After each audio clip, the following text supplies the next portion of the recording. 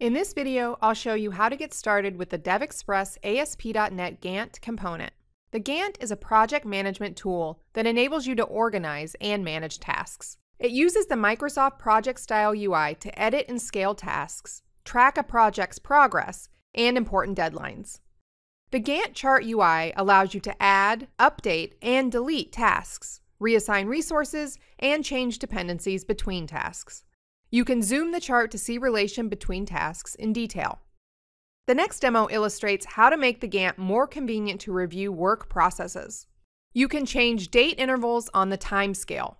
The Gantt can hide task titles or display them within or next to tasks. You can assign resources to tasks and display or hide them in the chart. You can specify the work time, work days, and holidays.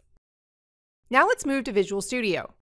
Drop the Gantt component to your ASP.NET page from the Visual Studio toolbox. You'll find it under DX and then the version you have installed. Here, it's in 19.2, the Data and Analytics category.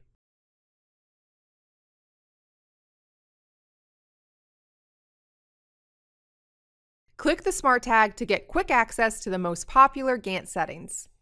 The Gantt is a data-bound control and gets its data from a database. You can refer to our documentation page to get detailed information about data binding in the Gantt.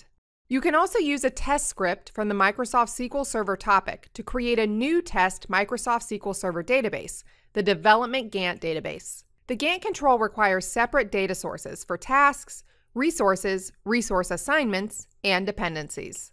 Let's configure a data source for tasks. Choose the New Data Source option Select the Microsoft SQL Server database and create a new connection string for it. Then select the columns you want to include in the data source.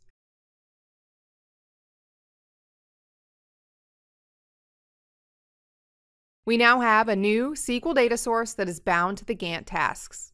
Repeat this step for each table, task dependencies, task team relations, and teams.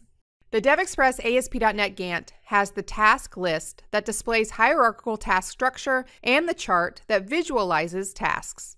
Let's add the title, start date, and end date columns to the task list. Now specify mappings for the Gantt's tasks, dependencies, and resources. Mappings specify which field in a data source corresponds to an object's property. Call the DataBind method in the page init event handler to provide data for the ASPX Gantt control on each callback.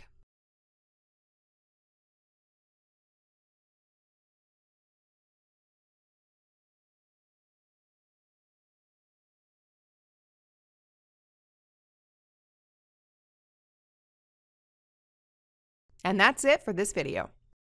If you'd like to learn more about our ASP.NET Web Forms controls, you can watch more videos from our playlist or check out the documentation on our website. You can also subscribe to our channel for all of our latest content. Thanks for watching, and thank you for choosing DevExpress.